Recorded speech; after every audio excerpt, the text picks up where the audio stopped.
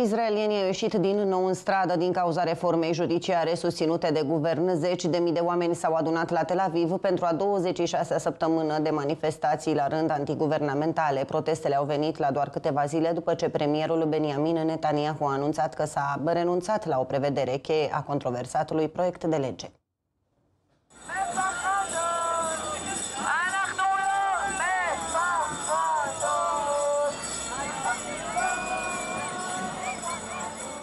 Zeci de mii de oameni au protestat din nou în Tel Aviv. Este a 26-a săptămână de manifestații antiguvernamentale. Israelienii ies în stradă în fiecare weekend pentru a pune presiune pe coaliția de guvernare care promovează reforma sistemului judiciar. De această dată au fost blocate drumuri și autostrăzi.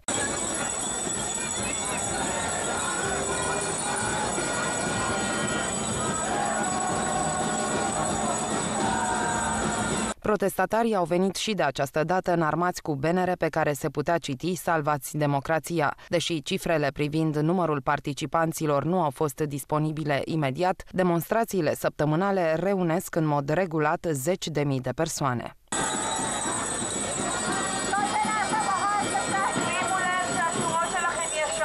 Format la sfârșitul lunii decembrie cu sprijinul partidelor de extremă dreapta și al formațiunilor evreiești ultraortodoxe, guvernul premierului Netanyahu încearcă să adopte o reformă a justiției care vizează creșterea puterii aleșilor față de cea a magistraților. Anunțul proiectului de lege în ianuarie a dat naștere uneia dintre cele mai mari mișcări de protest din istoria Israelului. Guvernul consideră că reforma este necesară pentru a asigura un echilibru mai bun al puterilor în stat, dar criticii săi o văd ca o amenințare la adresa democrației israeliene și a garanțiilor sale instituționale.